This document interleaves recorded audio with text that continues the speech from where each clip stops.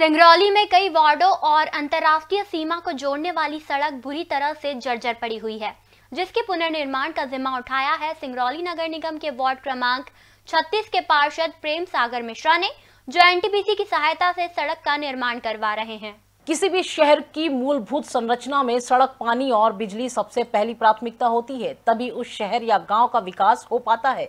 लेकिन सिंगरौली में एक सड़क ऐसी भी है जो कई वार्डों तथा अंतर्राष्ट्रीय सीमा को भी जोड़ने का काम करती है। लेकिन फिर भी ये सड़क बुरी तरह से जर्जर पड़ी हुई है। इस सड़क को लगभग 35 साल पहले एनटीपीसी सिंगरौली ने बनवाया था, जिसके बाद वार्ड 36 के पार्षद प्रेम सागर मिश्रा के अथक प्रयास के बाद एक बार फिर से इस आरसीसी रोड का निर्माण शुरू हो गया है।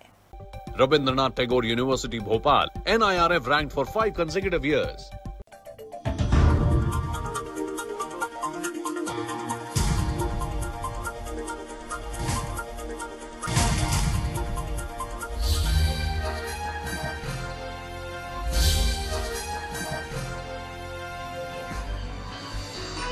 आप देख रहे हैं दखल न्यूज़